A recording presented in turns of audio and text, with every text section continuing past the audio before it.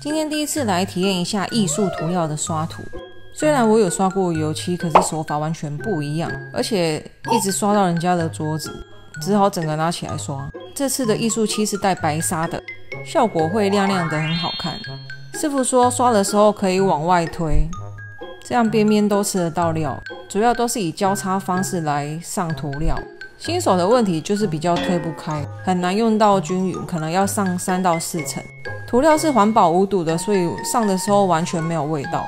涂料分为两种，有土类跟漆类。那我上的是漆类，比较简单一点。最后上完再来看第二层的效果喽。接下来换专业的师傅来示范一下。打完底漆之后就直接上两层，是不是很好看呢？带白沙的涂料真的好好看呐，跟一般的油漆差好多。